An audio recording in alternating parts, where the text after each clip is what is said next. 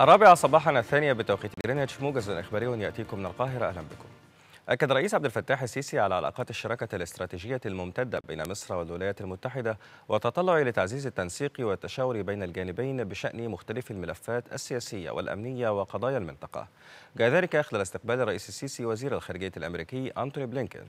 وأوضح المتحدث باسم رئاسة الجمهورية أنه تم استعراض التطورات والأحداث الأخيرة في الأراضي الفلسطينية. بعد أن أكد الرئيس السيسي موقف مصر الثابت بالتوصل إلى حل عادل وشامل يضمن حقوق الشعب الفلسطيني وفق المرجعيات الدولية.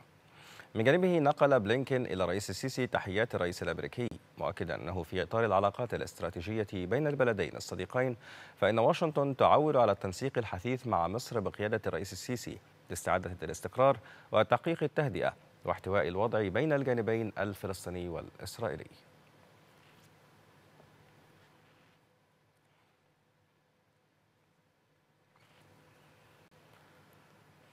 أدانت مصر حادث التفجير الانتحاري الذي استهدف مسجدا في مدينة بيشاور شمال غرب باكستان وهو ما أسفر عن سقوط عشرات القتلى والجرحى.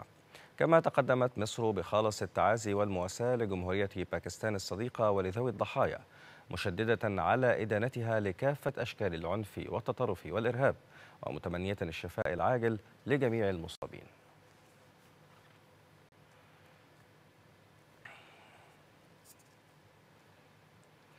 أكد الرئيس التونسي قيس سعيد أن نسب الإقبال على التصويت في الانتخابات يجب أن تقرأ بشكل مختلف. وخلال اجتماعه مع رئيسة الحكومة نجلاء بودن قالت سعيد إن نسبة أو إن نسبة الإقبال على التصويت تؤكد أن التونسيين لم يعد لديهم ثقة في البرلمان. وأكد الرئيس التونسي على تمسكه بمؤسسات الدولة حتى تعمل بانسجام مشددا على أن ما يقوم به أعداء الدولة هو خيانة للشعب التونسي.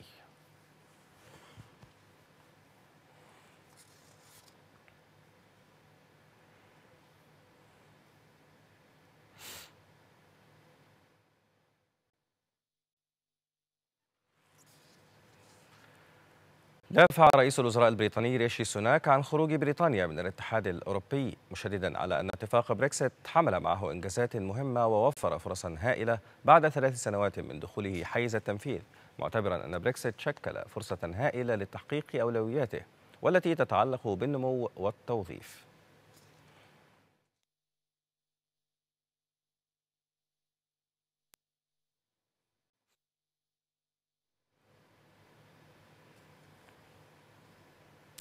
أعلن الرئيس الأمريكي جو بايدن أن واشنطن لن تزود كييف بمقاتلات إف 16 كان مسؤولون عسكريون أمريكيون قد دعوا وزارة الدفاع الأمريكية البنتاغون إلى منح أوكرانيا مقاتلات إف 16 لمواجهة الهجمات الروسية.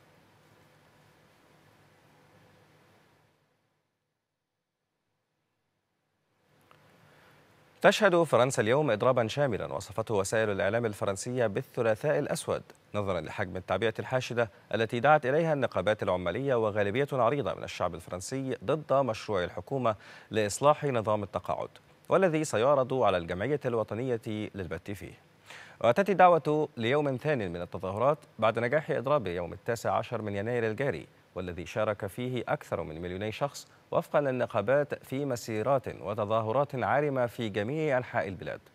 كما شارك كثير من المواطنين في إضراب شل حركة العديد من القطاعات في الدولة أهمها قطاعي النقل والتعليم.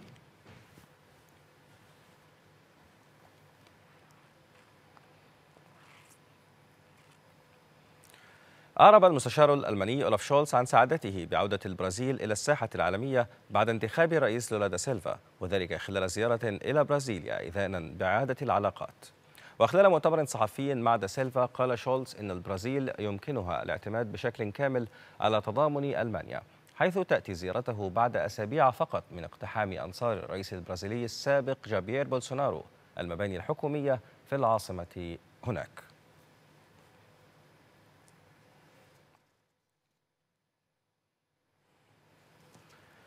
رفعت كوريا الجنوبية إلزامية ارتداء كمامة الوجه في الأماكن المغلقة باستثناء بعض المنشآت منها المواصلات العامة والمستشفيات. وجاء قرار الحكومة بعد تباطؤ وتيرة الإصابات بفيروس كورونا وتخطي ذروتها في فصل الشتاء مع استقرار نسب حالات الوفيات جراء هذا الفيروس.